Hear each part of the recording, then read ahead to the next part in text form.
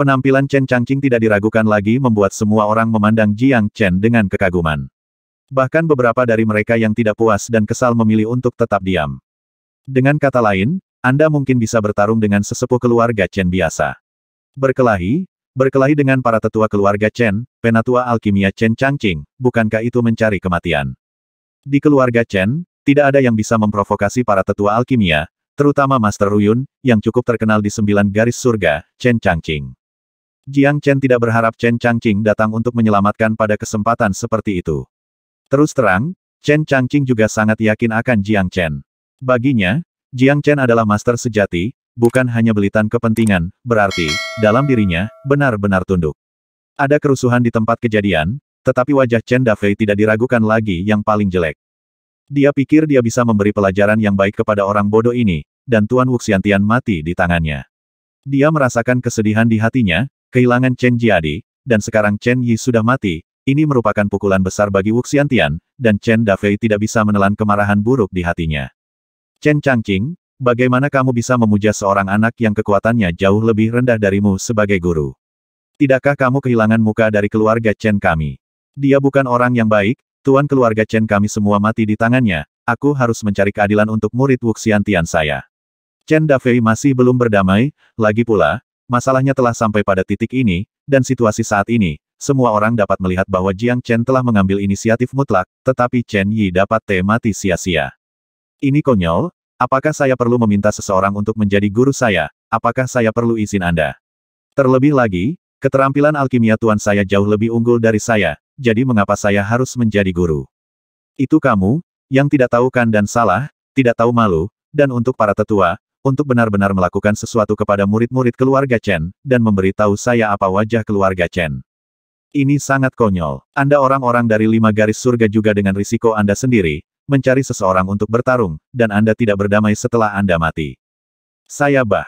Chen, Changking benar-benar tidak memberi Chen Dafei wajah apa pun. Saat ini, belum lagi alasan Jiang Chen, bahkan jika tidak masuk akal, dia harus mempertahankan tiga poin. Siapa pun yang ingin menyentuh tuannya harus melewati saya, izinkan. Terlebih lagi, tuanku tidak bisa digerakkan oleh siapa pun. Bahkan jika dia kehilangan juara leluhur Zeming kali ini, dia juga satu-satunya master alkimia di keluarga Chen saya. Dia tidak ada bandingannya. Jika Anda berani memindahkannya, aku akan berani mengikutinya. Kamu bertarung sampai mati. Keputusan Chen Changqing membuat banyak orang melihat tekadnya, dan Chen Dafei juga tahu bahwa benar-benar tidak ada cara untuk menjadi baik hari ini. Orang ini menjelaskan bahwa dia ingin berdiri di kapal yang sama dengan Jiang Chen, dia pasti tidak bisa menghadapi Chen Changqing. Kecuali, dia siap bertarung melawan sepuluh, belum lagi popularitas Chen Changqing, popularitasnya juga cukup bagus, jika dia benar-benar ingin berurusan dengannya, maka dia hanya akan membuat dirinya tidak nyaman. Namun, masalah Wuxiantian tidak akan pernah dilepaskan, kali ini, dia pasti akan menyimpan akun ini di dalam hatinya. Oke, Chen Changqing, Penatua Chen, kamu kejam. Kali ini, kami akan mengakui bahwa kematian Chen Yi, bahkan jika itu adalah kesalahannya sendiri, tetapi jangan terlalu senang, mari kita tunggu dan lihat. Chen Dafei mendengus dingin, dan jika dia terus tinggal, dia hanya akan merasa tidak nyaman. Meskipun agak sulit untuk dilewatkan, situasinya lebih buruk daripada yang lain. Chen Dafei tahu bahwa jika dia bertarung dengan Jiang Chen, dia akan benar-benar menyinggung Chen Changqing. Dia hanya bisa memilih untuk mundur. Senang pergi. Chen Changqing berkata dengan tenang. Pada saat ini, Orang-orang di sekitar tidak bisa menahan diri untuk tidak menghela nafas, mengatakan bahwa kekuatan Jiang Chen ada di sana. Tidak ada keraguan bahwa di awalnya berpikir bahwa dia telah sampai sejauh ini karena keberuntungan. Sekarang tampaknya semua-semuanya dicapai olehnya. Upaya sendiri hanya dapat dikatakan bahwa Chen Yi meminta kesulitan, dan akhirnya mempertaruhkan nyawanya, yang benar-benar tidak sepadan. Banyak orang awalnya menonton kegembiraan, tapi sekarang mereka tahu latar belakang Jiang Chen dan seberapa kuat dia. Orang ini benar-benar rendah. Jika Chen Dafei tidak agresif, mungkin identitasnya tidak akan diungkapkan oleh semua orang. Bahkan Chen Qingqing kagum, Chen Changqing adalah seorang alkemis terkenal di keluarga Chen mereka, siapa yang tidak ingin berteman dengan orang seperti itu. Tetapi banyak orang tidak bisa masuk ke mata Chen Changqing sama sekali, tetapi Jiang Chen menjadi tuan Chen Changqing, yang agak terlalu luar biasa. Tuan, kata Chen Changqing dengan hormat. Ada begitu banyak orang, tidak perlu membungkuk. Kata Jiang Chen. Kamu masih harus memiliki etiket yang tepat. Chen Changqing tidak merasa malu sama sekali, menghormati guru dan menghormati Taoisme adalah kebajikan tradisional. Saudaraku, apakah kamu benar-benar Tuan Penatua Chen Changqing? Chen Qingqing tampak sedikit tidak dapat dipercaya. Bagaimanapun, ini benar-benar mengejutkan. Bukan hanya dia, tetapi banyak orang tidak dapat mempercayainya, tetapi fakta ada di depan matanya. Untuk seseorang seperti Chen Changqing yang menyukai bulu, sama sekali tidak mungkin melakukan hal yang tidak masuk akal seperti itu. Jika itu palsu, gadis ini, mungkinkah, seorang guru? Chen Changqing tidak bisa tidak menebak ketika dia melihat bahwa ada hubungan antara Chen Qingqing dan mata Jiang Chen yang berkedip. Chen Qingqing hampir tersandung ke tanah, hatinya penuh kegembiraan, wajahnya yang cantik memerah, dan dia bahkan ingin menemukan celah di tanah untuk merangkak masuk. Ini terlalu memalukan, bukan? Mengapa ini disebut guru? Chen Qingqing tidak pernah berpikir, karena Chen Changqing adalah seorang legenda, dan sekarang legenda ini telah menjadi juniornya. Jangan bicara omong kosong. Aku sangat malu dengan saudari Qingqing. Kata Chen Lu sambil tersenyum, menarik Chen Qingqing, dan mereka berdua juga berdiri di depan yang bersatu. Ya, Nyonya, Chen Changqing sangat masuk akal, dan dia juga akan mengamati kata-kata dan ekspresinya. Pada saat ini, Chen Lu juga memerah, dan menarik Chen Qingqing ke samping. Ayo, kita cari tempat untuk beristirahat dulu. Jiang Chen tampak tercengang. Jika ini terus berlanjut, Chen Lu dan Chen Qingqing sama-sama akan malu. Ya Tuan, Chen Changqing masih menghormati Jiang Chen. Bagaimanapun, dia adalah mentornya sendiri. Dia adalah guru untuk satu hari dan ayah seumur hidup. Mereka yang telah belajar seni bela diri berturut-turut adalah guru. Ini adalah cara Chen Changqing membantu dunia. Chen Changqing menemukan tempat untuk beristirahat, Chen Qingqing dan Chen Lu tidak mengganggu Jiang Chen dan yang lainnya, tetapi memilih untuk mundur. Awalnya, saya berencana untuk menemukan penatua Chen Changqing untuk memperbaiki beberapa pil obat. Saya selalu menghormati sosok legendaris ini, tetapi saya tidak berharap hari ini. Chen Qingqing tidak bisa menahan tawa dan meraih tangan Chen Lu. Berkata, dan akhirnya mengetahui bahwa dia telah menjadi guru legendaris. Pil apa yang ingin kamu buat? Kakak bisa membuatnya, dan itu lebih baik daripada orang lain. Kamu tidak perlu pergi ke Chen Changqing. Chen Lu tersenyum menawan, mata kedua wanita itu sangat ambigu. Lihat penatua Bei Liang. Chen Lu dan Chen Qingqing tiba-tiba melihat penampilan penatua Chen Bei Liang Chen saat ini. Dia adalah penatua agung dari garis pertama surga, dan status serta kekuatannya sangat dihormati. Yah, saya mendengar bahwa penatua Chen Changqing Chen ada di sini. Di mana dia sekarang? Tanya Chen Bei Liang. Saya meminta saran kepada tuannya Chen Jiang. Wajah Chen Bei Liang sedikit berubah. Chen Jiang ini sebenarnya adalah tuan Chen Changqing, yang terlalu sulit dipercaya, dan dia tidak bisa mempercayainya sama sekali, tetapi dia juga mendengar tentang Chen. Changqing sebelumnya datang untuk menemui Tuan dan kematian Chen Yi. Tapi Chen Beiliang datang untuk mencari Chen Changqing untuk membuat alkimia. Siapa sangka bahwa saat ini, dia secara pribadi memerintahkan Chen Jiang, leluhur keluarga Chen yang memilih Ming, untuk menjadi lebih menakutkan daripada Chen Changqing. Orang ini benar-benar tersembunyi cukup dalam. Baiklah kalau begitu, aku akan menunggu di sini. Chen Beiliang sedikit mengangguk. Chen Lu dan Chen Qingqing buru-buru meninggalkan tempat itu.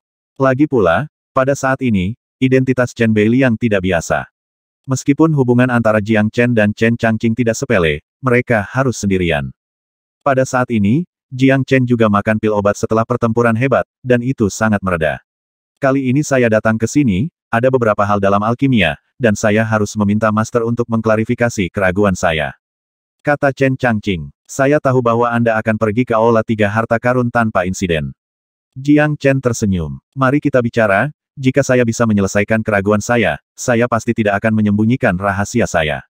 Antara Anda dan saya, nama master dan magang hanyalah reputasi. Tidak masalah. Jika Anda memiliki hati ini, saya akan puas. Jiang Chen melambaikan tangannya, tetapi Chen Chen Chang King tidak berani mengabaikannya. Terima kasih, Tuan, tetapi harus ada aturan, bahkan jika Tuan tidak peduli, saya harus memilikinya. Chen Changqing berkata dengan sungguh-sungguh, saat ini, dia juga tidak ragu untuk meminta pengetahuan, dan mulai berdiskusi dengan Jiang Chen tentang masalah sulit dalam alkimia. Selama tiga hari berturut-turut, Jiang Chen dan Chen Changqing mengobrol untuk waktu yang lama, Chen Changqing juga sangat bersemangat dan terkejut, dan keraguan di hatinya juga terpecahkan. Selain itu, di antara mereka, Chen Changqing telah mendapat banyak manfaat, kali ini datang untuk memberi selamat, Chen Changqing juga mendapat banyak, dan wajahnya selalu penuh senyum. Tuan memesan tiga hari, tetapi menang tiga ribu tahun. Chen Changqing berterima kasih padanya, wajahnya bergerak, dan dia sangat saleh. Ngomong-ngomong, dalam beberapa hari terakhir, saya juga telah memahami senyuan bati dan di peta gunung dan sungai tablet kuno. Pil obat semacam ini dapat langsung meningkatkan kekuatan pembangkit tenaga listrik tingkat nebula. Itu bisa dikatakan sebagai pil yang tiada taranya, sangat sulit. Pemurnian, tetapi saya telah memutuskan untuk memperbaiki beberapa pil tubuh Senyuan Ba untuk meningkatkan efektivitas tempur saya. Di antara mereka, bunga tuan adalah yang paling sulit ditemukan, tahukah Anda di mana ada bunga tuan? Jiang Chen berkata dengan sungguh-sungguh. Tuan bunga, Chen Changqing merenung. Aku tahu ada dua tempat. Bunga tuan jenis ini biasanya dijaga oleh salamander tuan. Ini adalah binatang mitos kuno, yang sangat menakutkan. Seseorang telah menemukannya di Gunung Dianmo di luar gedung. Ada satu lagi, itu adalah tanah leluhur keluarga Chen, dan itu juga merupakan tempat di mana tuan dapat mewarisi warisan leluhur. Namun tempat warisan keluarga Chen bahkan lebih berbahaya. Setidaknya, saya belum pernah mendengarnya seseorang dapat berhasil setelah sukses. Mereka yang kembali ke keluarga Chen, kebanyakan dari mereka langsung menuju kehampaan melalui terowongan ruang angkasa. Itu adalah tanah leluhur keluarga Chen dari Milan Star, dan itu juga merupakan tempat pamungkas, tempat, dan bintang Yongye kami. Terus terang, hanyalah transisi. Kata Chen Changqing, apakah ada hal seperti itu? Jiang Chen tampak terkejut. Iya, di atas bintang Milan, Kekosongan keluarga Chen adalah tempat di mana pembangkit tenaga listrik yang tak terhitung jumlahnya mengejar. Dikatakan bahwa origin Qi di sana dapat langsung menuju ke zaman kuno, tetapi manfaat sebenarnya hanya mereka yang melewatinya, tanah leluhur keluarga Chen. Anda akan mengerti, selama Anda memasukinya, tidak ada yang mau kembali. Lagi pula, orang pergi ke tempat tinggi. Kata Chen Changqing dengan tatapan rindu. Ketika dia masih muda, dia juga memiliki mimpi seperti itu, tetapi pada akhirnya dia hanya bisa dibiarkan sendiri dan menjadi seorang alkemis, tetapi status seorang alkemis tidak boleh diremehkan. Tanah leluhur keluarga Chen, saya berharap dapat menemukan bunga tuan. Saya tidak tahu berapa banyak manfaat yang bisa dibawa oleh tanah leluhur keluarga Chen kali ini. Jiang Chen merenung. Ramuan ini, tolong bantu saya mengumpulkannya. Kebetulan saya memiliki istirahat yang baik selama dua hari terakhir. Jiang Chen menyerahkan daftar obat-obatan kepada Chen Changqing. Ya, Tuan, maka Anda memiliki istirahat yang baik, saya akan keluar dulu. Chen Changqing berbalik untuk pergi, pada saat ini, dia tidak berharap Chen Beiliang, tetua lini pertama dari keluarga Chen, telah menunggu. Luar untuk waktu yang lama. Ini kamu. Ketika Chen Changqing melihat Chen Beiliang, wajahnya berangsur-angsur menjadi acuh tak acuh. Apa? Apakah kamu tidak ingin melihatku? Kalian, kamu masih marah padaku. Saat itu, aku memikirkan situasi keseluruhan. Setelah 2000 tahun, kamu benar-benar berencana untuk menjauh dariku selama sisa waktu. Hidupmu. Chen Beiliang menghela nafas. Kamu ambil jalan yang guanmu, aku akan menyeberangi jembatan papan tunggalku, apakah ada yang ingin dikatakan di antara kita? Chen Changqing berkata dengan ringan, jelas ada dendam lama di antara keduanya, tetapi Chen Beiliang sudah lepaskan, tapi Chen Changqing masih menolak untuk melepaskannya. Lupakan saja, aku terlalu malas untuk berdebat denganmu, apa hubungan antara kamu dan Chen Jiang ini? Apakah dia benar-benar tuanmu? Tuan Alkimia, kata Chen Bei Liang dengan sungguh-sungguh. Ada apa denganmu? Aku tidak masuk ke tanah leluhur keluarga Chen saat itu, tapi sekarang, kamu datang untuk menghentikan tuanku lagi, bukan? Chen Bei Liang, apakah kamu benar-benar ingin membunuh? Mereka semua, Chen Changqing memelototi Chen Bei Liang. Changqing, ada alasan mengapa saya tidak membiarkan Anda berpartisipasi dalam pemilihan leluhur tanah leluhur keluarga Chen. Apakah Anda tahu bahwa tanah leluhur keluarga Chen jauh dari sesederhana Anda? Pikirkan, ekspresi Chen Beiliang menjadi semakin serius. Jika dia benar-benar tuanmu, dan metode alkimianya ada di seluruh langit, maka aku tidak akan pernah membiarkan dia berpartisipasi dalam warisan leluhur terakhir.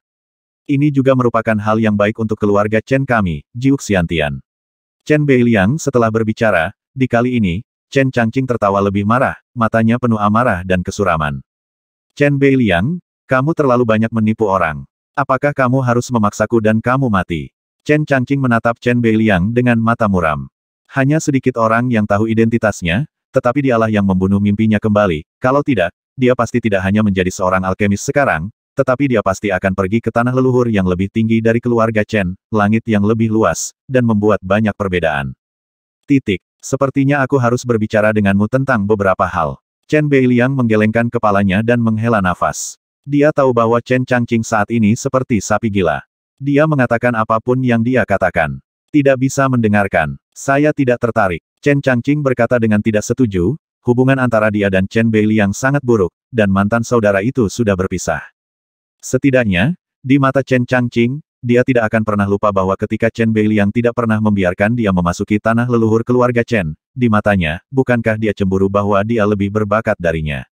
Karena itu, dia tidak bahagia selama 30 tahun, dan akhirnya menyadari jalan alkimia, jika tidak, dia tidak hanya akan memiliki kekuatan ini, dia akan telah mencapai tingkat nebula, dan dia tidak akan lebih buruk dari kekuatannya. Ini semua adalah hal yang tidak pernah dilupakan Chen Changqing, dan dia selalu menyimpan dendam di dalam hatinya. Bagi Chen Beiliang, dia tahu bahwa dia tidak akan pernah memaafkannya selama sisa hidupnya, karena dia telah menghancurkan seluruh hidupnya. Apakah kamu benar-benar tidak berperasaan ketika kamu bingung? Chen Beiliang berkata dengan suara rendah. Aku tidak berperasaan. Chen Changqing tampak bingung, dan segera mencibir. Jika aku tidak berperasaan, kita berdua tidak akan berada dalam situasi seperti itu sekarang, mengapa? Apakah kamu ingin membunuhku? Garis surga, penatua pertama, bunuh aku, kamu bisa duduk dan bersantai, dan kamu tidak perlu melihat wajahku. Chen Beiliang mengerutkan kening, wajahnya sangat suram. Siapa yang mendorongku keluar dari daftar saat itu, dan siapa yang biasa-biasa saja dan bahkan tidak masuk sepuluh besar. Apakah kamu lupa semua ini? Kemarahan Chen Changqing berasal dari hubungannya dengan keluhan Chen Beiliang adalah sesuatu yang tidak dimiliki siapa pun. Pernah dialami. Saya menganggap Anda sebagai saudara terdekat dan tersayang, tetapi Anda telah membuat saya kehilangan kualifikasi saya untuk bersaing untuk kejeniusan keluarga Chen selamanya. Saya bersemangat saat itu, bukankah Anda hanya iri padaku? Kakak, kakakku memanggilmu. Apa kau tidak merasa bersalah dan sakit hati? Chen Changqing sedikit histeris, geram, meraung, menatap Chen Beiliang, Chen Beiliang tidak banyak bicara, wajahnya masih dingin. Ada beberapa hal yang tidak akan kamu mengerti. Kata Chen Beiliang ringan. Karena kamu tidak ingin mengobrol baik denganku, aku tidak akan mengganggumu lagi. Pergi dan beritahu Chen Jiang, ingatlah untuk tetap berpegang pada hatimu dan keluar hidup-hidup. Setelah Chen Beiliang selesai berbicara, dia berbalik.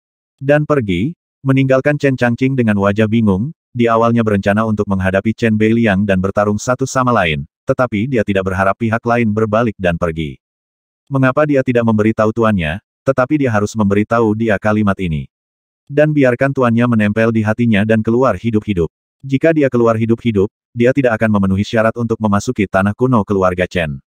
Itu adalah impian utama dari anggota keluarga Chen yang tak terhitung jumlahnya. Tapi mengapa Chen Beiliang mengatakan itu? Dia terdiam beberapa saat, dia tidak bermaksud memberitahu tuannya, tetapi dia tidak tahu bagaimana menghilangkan keraguannya, dan dia tidak tahu apa arti kata-kata Chen Beiliang, dia tidak bisa hanya karena kebencian antara dia dan Chen Beiliang. Menunda tuannya. Setelah memikirkannya lagi dan lagi, dia memutuskan untuk menjelaskannya kepada tuannya. Waktunya telah tiba, Chen Beiliang memimpin orang banyak ke tanah leluhur keluarga Chen untuk menerima warisan. Kematian Chen Yi juga mengakibatkan kurangnya seseorang untuk menerima warisan leluhur keluarga Chen. Chen Yuyan, yang pernah bertemu sekali, wanita yang menakjubkan itu, juga seorang jenius dari keluarga Chen. Ketika Chen Yuyan melihat Jiang Chen, ada juga sedikit ambiguitas di matanya. Wanita ini sangat misterius, dan Jiang Chen tidak tahu mengapa, tetapi dia memiliki perasaan yang berbeda tentang dia, dan dia tidak bisa menjelaskannya dengan jelas. Titik. Bagian depan adalah Gunung Leluhur Suci. Tanah leluhur keluarga Chen menerima warisan. Itu ada di Gunung Leluhur Suci.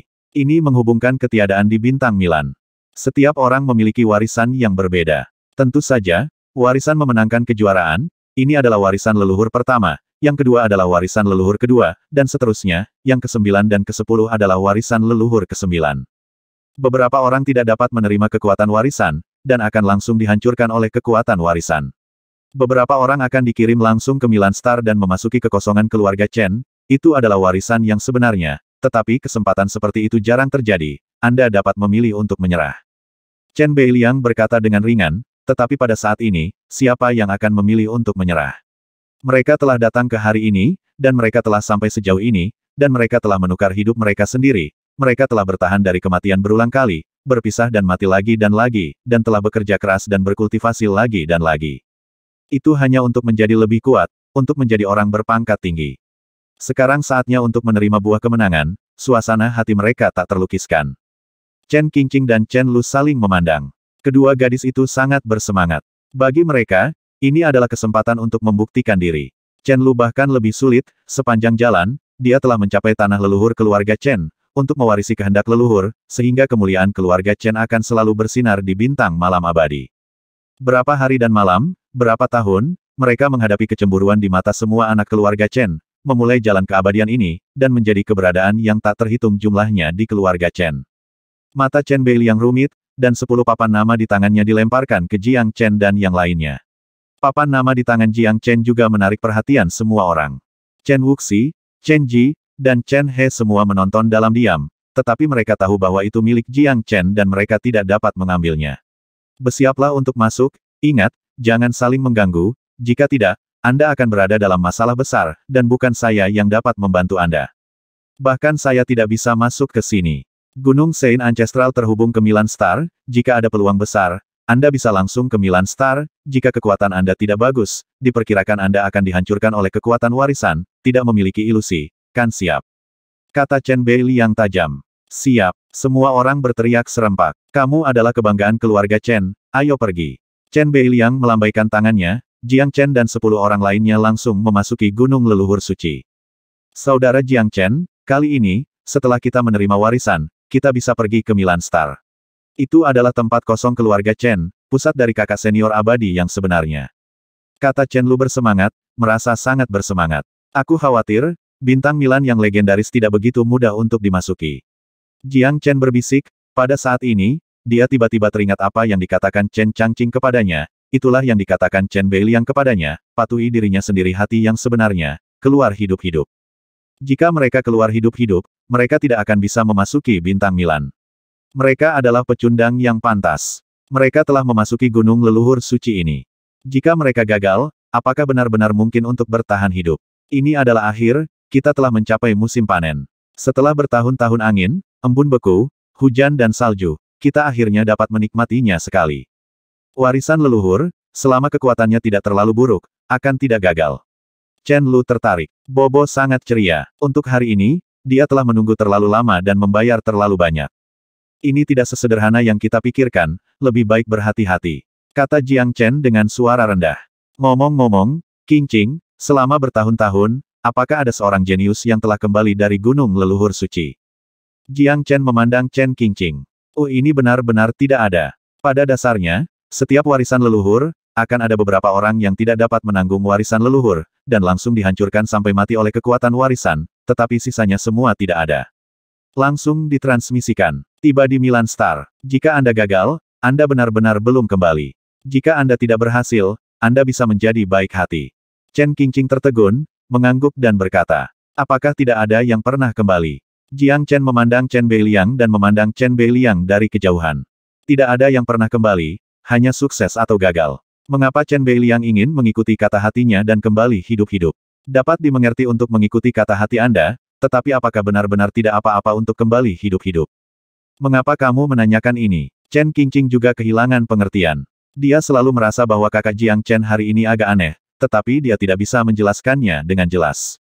Tidak apa-apa, kalian berdua, hati-hati. Saya selalu merasa bahwa apa yang disebut warisan leluhur ini tidak sederhana. Jiang Chen tidak bisa mengatakan mengapa, tetapi Chen Beiliang secara khusus meminta Chen Changqing untuk mengatakan ini padanya. Artinya, dan mereka tidak boleh dianggap enteng. Berapa banyak kesulitan yang telah kita alami untuk sampai ke tempat kita hari ini, jangan khawatir, saudara Jiang Chen, saya tahu itu dengan baik. Chen Lu sedikit mengangguk, dan dia juga sangat berhati-hati di dalam hatinya.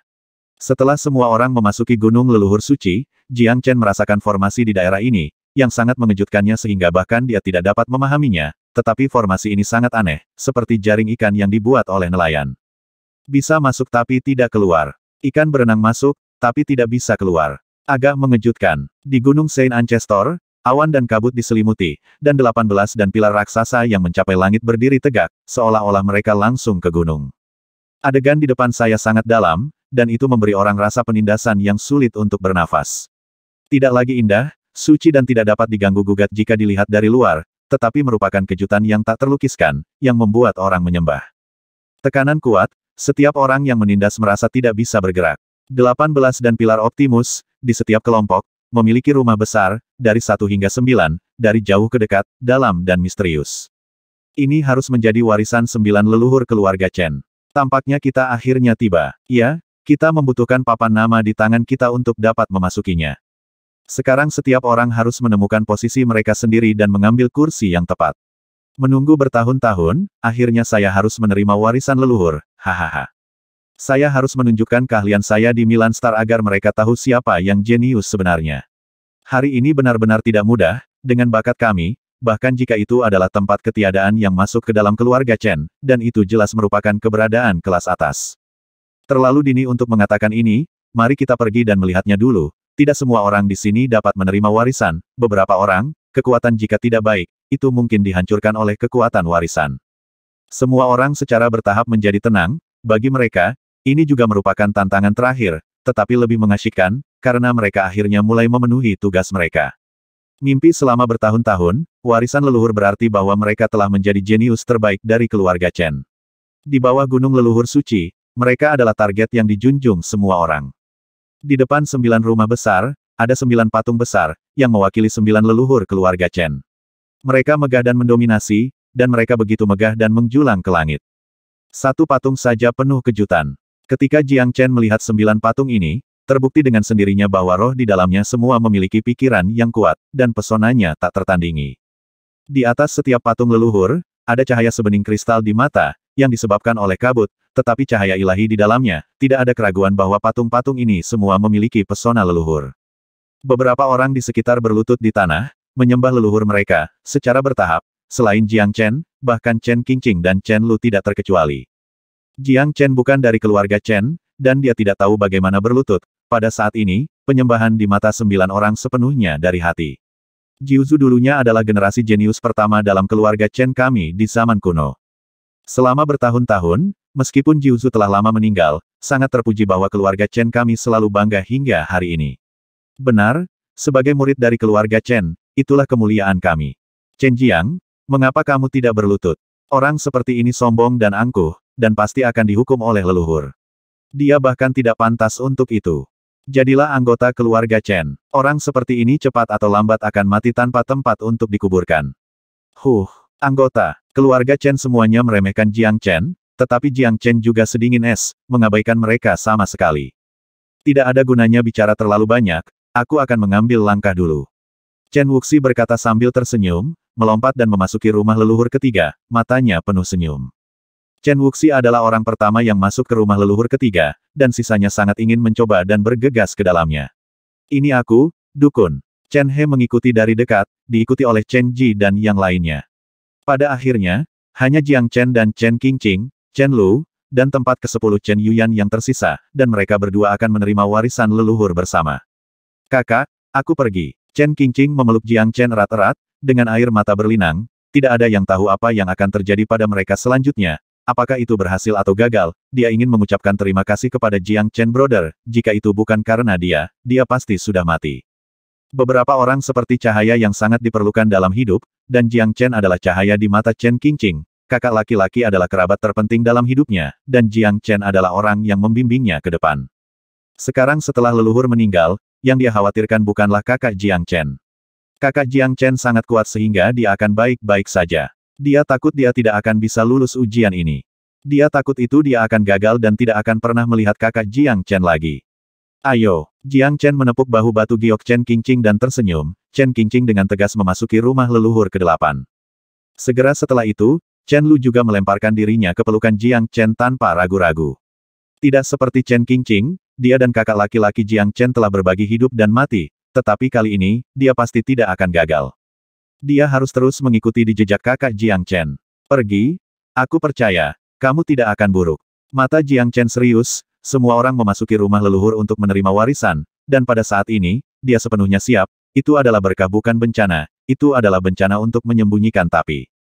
Hati Jiang Chen sangat serius, dan dia dengan hati-hati memasuki rumah leluhur agung. Olah leluhur ada di depan, dan tanah kuno yang misterius dan tak terduga membuat hati Jiang Chen menjadi sangat gelisah. Di mansion, ada sembilan tablet, yang masing-masing diukir dari batu giok dan berdiri di depan meja. Pada slip kasus, patung berbentuk manusia kekar, independen dari pemerintah pusat, lebih dari sepuluh kaki, perkasa dan mendominasi, bukan kemarahan dan promosi diri. Jiang Chen melihat sekeliling, empat di sebelah kiri dan empat di sebelah kanan semuanya adalah monster yang menakutkan, beberapa seperti naga, beberapa seperti harimau, dan beberapa seperti ular, tetapi Jiang Chen dapat melihat bahwa hal-hal ini bukan monster yang dia lihat. Masing-masing dengan taringnya menunjukkan, atau terbang melalui awan, atau mata melotot. Singkatnya, ada delapan monster, tidak ada yang pernah dia kesan. Mengapa ada begitu banyak patung monster di sini? Mungkinkah itu leluhur keluarga Chen? Jiang Chen mengerutkan kening, dan perasaan buruk muncul di hatinya. Sangat sunyi di sini, sangat sunyi, itu membuat Jiang Chen merasa seperti sedang diawasi. Hal-hal di dalamnya benar-benar aneh, terutama patung berbentuk manusia lebih dari sepuluh kaki di tengahnya. Ini untuknya, yang paling stres. Jiang Chen bahkan merasa bahwa patung dewa ini benar-benar tubuh asli, bukan yang disebut patung dewa. Perlahan-lahan, Jiang Chen merasa bahwa di mansion ini, seolah-olah ada gunung besar, menindasnya dan berlutut di sini. Tidak bagus. Hati Jiang Chen tenggelam. Dia yakin pasti ada konspirasi di tempat hantu ini. Apa yang disebut warisan leluhur sekarang sangat misterius, dan bahkan tidak ada setengah dari warisan, jadi dia tidak bisa berspekulasi dalam hatinya, apalagi hasil yang diharapkan. Namun, ketika Jiang Chen ingin meninggalkan mansion, akhirnya, sembilan patung, semuanya pada saat yang sama, menjadi menyilaukan, sangat menyilaukan, benar-benar menerangi seluruh mansion. Wajah Jiang Chen suram, alisnya berkerut, dia ingin berjuang, tetapi dia benar-benar terkendali, dan kekuatan menahan diri datang dari cahaya ini. Di mana penjahat yang mempesona? Ini adalah misteri, ini sama sekali bukan warisan leluhur keluarga Chen. Jiang Chen meraung dengan marah. Nenek moyang keluarga Chen, mengejutkan orang dahulu dan menyinari masa kini, bagaimana Anda bisa didambakan? Suara penindasan, seperti suara lembah kosong, membuat sakit kepala Jiang Chen terbelah.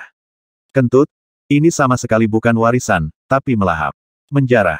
Jiang Chen menarik napas dalam-dalam, matanya seperti pisau, menatap sosok lebih dari sepuluh kaki di depannya. Bukankah kamu keluarga Chen? Pada saat ini, seorang pria berjubah kuning melangkah keluar dan muncul tepat di depan Jiang Chen, berdiri di samping patung itu. Sosok berjubah kuning memancarkan martabat dan kemuliaan di sekujur tubuhnya, matanya menatap Jiang Chen. Siapa kamu? Jiang Chen melangkah mundur dan menatap pria berjubah kuning itu. Kursi ini adalah leluhur keempat dari keluarga Chen, Chen Wastelen. Bahkan jika Anda bukan dari keluarga Chen, Bakat Anda adalah kelas satu, dan para leluhur pasti akan menyukainya, hehe. Kata Chen Wastelen dengan senyum tenang. Titik. Murid Jiang Chen menyusut, dan gelombang keterkejutan meletus di hatinya, apa sebenarnya yang dilakukan keluarga Chen ini? Kamu ingin menggunakan tubuhku untuk memuja leluhur. Jiang Chen akhirnya menyadari bahayanya, dan juga menyadari tujuan keluarga Chen saat ini. Ya, kamu pikir kamu siapa? Nenek moyang keluarga Chen adalah orang-orang tertinggi dari darah keluarga Chen. Jenius yang dipilih dari keluarga Chen hanya makanan dari sembilan leluhur, dan mereka hanya bisa diserap dan ditelan, oleh keturunan keluarga Chen, dapat menghidupkan kembali leluhur tertinggi kita. Dibandingkan dengan nenek moyang kita, Anda yang disebut jenius hanyalah setetes air di lautan. Sekarang ratusan ribu tahun telah berlalu. Ada begitu banyak jenius di dunia. Keluarga Chen, tidak ada yang bisa menandingi bakat satu orang. Nenek moyang keluarga Sang Chen, dengan bakat kecil ini, akan malu untuk mengatakan bahwa dia adalah seorang jenius dari keluarga Chen. Ini konyol. Chen Wastelen mencibir dan berkata, sepenuhnya menyebut Jiang Chen seekor semut. Jiang Chen menarik napas dalam-dalam, tidak bisa tenang untuk waktu yang lama.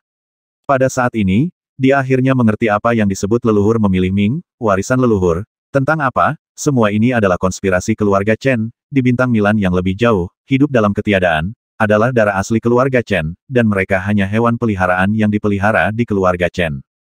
Melalui apa yang disebut leluhur, mereka memilih keturunan keluarga Chen yang cukup berbakat dan kuat. Makanan yang disebut leluhur terus dikirimkan, memungkinkan mereka menyelesaikan ide gila Chen Zhu kebangkitan. Semua ini adalah konspirasi kuno. Hati Jiang Chen benar-benar tak terbayangkan. Keluarga besar Chen ini sangat berdarah dan kejam, sangat menakutkan.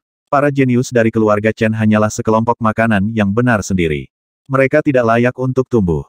Hanya cocok untuk diserap oleh leluhur. Kamu benar-benar gila. Kamu telah menghancurkan generasi muda yang tak terhitung jumlahnya dari keluarga Chen. Keluarga Chen adalah sarang iblis yang nyata. Jiang Chen menggelengkan kepalanya dengan putus asa. Untuk sesaat, itu benar-benar tidak dapat diterima, betapa konyolnya. Klan, akan menjadi begitu menjijikkan menggunakan keturunan mereka untuk membangkitkan nenek moyang mereka. Bukankah ini binatang buas? Tidak, bahkan binatang buas tidak cukup untuk dijelaskan, ini jelas satu-satunya dalam sejarah. Bagaimana kamu orang lemah tahu seberapa kuat nenek moyang kita dari keluarga Chen? Di zaman kuno, nenek moyang keluarga Chen adalah orang-orang yang bertanggung jawab atas alam semesta. Di dunia abadi, mereka memiliki tempat yang unik. Hanya dengan membangkitkan leluhur dapatkah keluarga Chen kita dapat berubah. Mereka harus menjadi lebih kuat dan lebih kuat sebelum mereka dapat kembali ke puncak. Dan keturunan keluarga Chen itu harus datang untuk menghormati leluhur mereka dengan kesalehan dan berkontribusi pada bisnis leluhur kita. Keluarga Chen. Inilah yang harus dilakukan keluarga Chen. Kata Chen Wastelen dengan percaya diri, sebagai keluarga Chen, ini adalah harga dirinya. Jiang Chen menghela nafas dalam hatinya.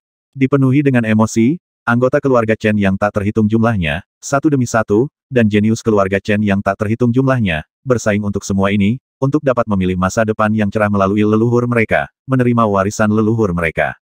Memasuki Milan Star, dan memasuki kehampaan yang telah lama mereka rindukan.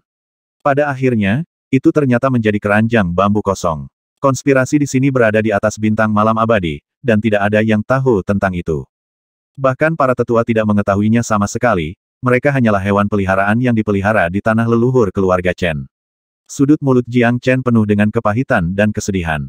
Upaya Chen Lu, dia melihat di matanya, tetapi semua ini ilusi. Ketika mereka benar-benar memasuki rumah Jiuzu dan bersiap untuk menerima warisan, mereka benar-benar melakukannya. Memahami itu ini hanyalah awal dari kematian dan akhir dari takdir. Mereka memiliki siang dan malam yang tak terhitung jumlahnya, momen hidup dan mati yang tak terhitung jumlahnya, hanya untuk saat ini, hanya untuk dapat memasuki bintang Milan dan menjadi kebanggaan tanah leluhur keluarga Chen, tetapi orang-orang dari tanah leluhur keluarga Chen menganggap mereka sebagai semacam pengorbanan. Memuja leluhur, alat untuk mencapai tujuan besar keluarga Chen, dan bahkan alat-alat itu bahkan tidak dipertimbangkan, karena dalam apa yang disebut tujuan besar keluarga Chen ini, mereka tidak bahkan layak untuk memiliki nama. 5105. Bersambung lagi minggu depan ya. Titik.